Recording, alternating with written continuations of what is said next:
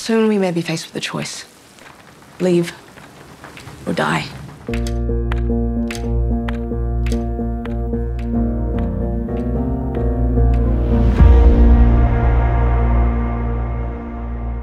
Will probably was in love with Jin from the moment he met her. And he has thought a million times about what would happen if he told her how he felt about her.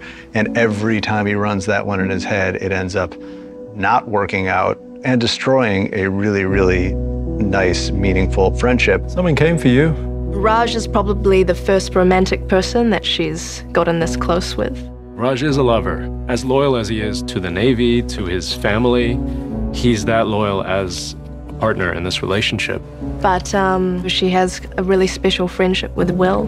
No matter what storms are going on, he's like the island that she can always go to where everything is calm. He found a way to give her something, and it's really selfless. It's an anonymous gift. He makes Saul at the beginning of the episode promise never to uh, tell Jin that it was him who gave the gift.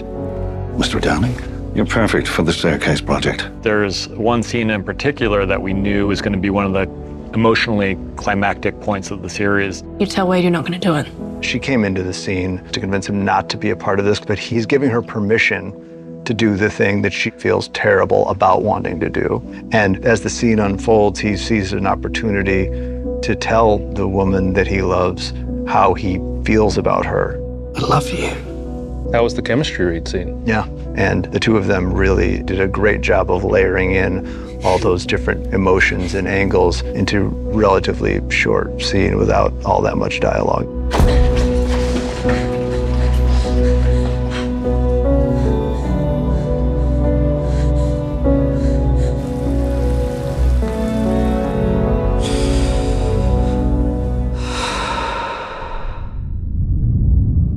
We talking about killing someone for this? And we weren't before? Augie was always reluctant to work with Wade.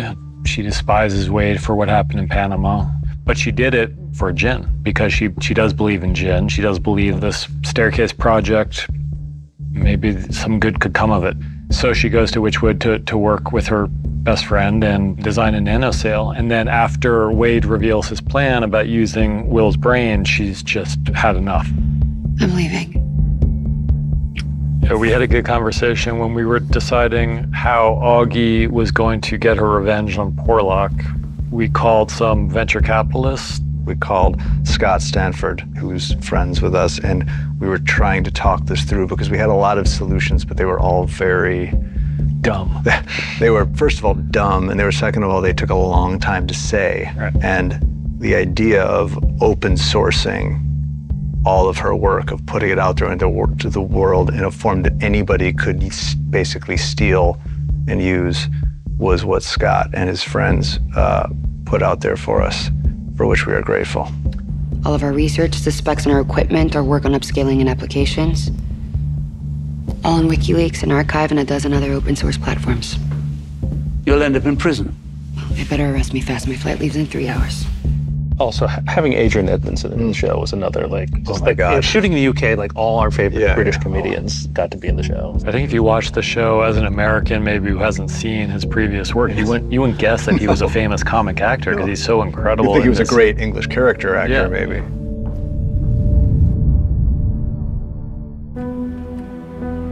We've got a reveal of young Vera as the model for a follower in the game. That's actually in a picture in Evans' office all along, which some people will notice and some people won't. And we realize that the little girl that needed to be protected was her own daughter, which tells you a lot about what it means to have failed her daughter in this way and then found out it was all for nothing.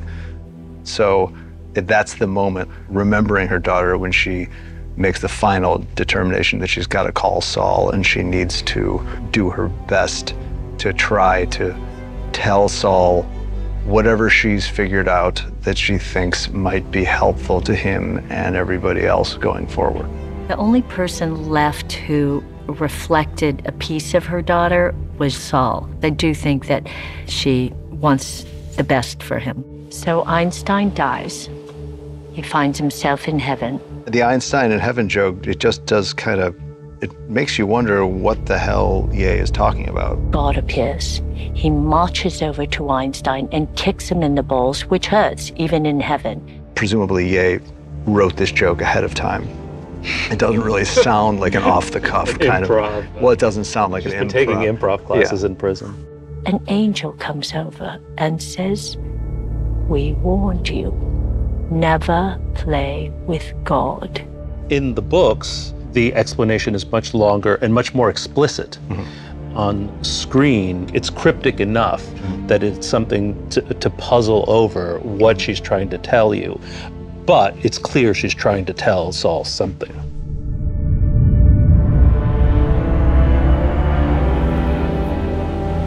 No, you can't. Unlike Evans, un- unlike Ye, Tatiana, and she grew up with knowledge of the San-Ti and she and that, that they were coming and that the world is going to be a better place. She says it explicitly in that last scene. And you see her beaming when she says it, and you know she believes it. And you also see Ye looking at her, and Ye, who has come to learn the truth about the San-Ti's intentions, she sees this beaming face of the true believer, and it's a kind of heartbreaking moment for her, but not for Tatiana.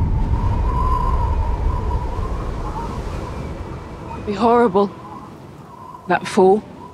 when Ye dies that i thought was going to be horrific and yet it turned out to be really a highlight of this entire shoot Tatiana says, I want to give you something better, something beautiful. And showing gruesomeness is not going to be that beautiful. She's going to help this woman that she admires. And yeah, I, I believe Tatiana when she says, I've got something much more beautiful for you. Please. I can give you something better. Something gentle. Something beautiful.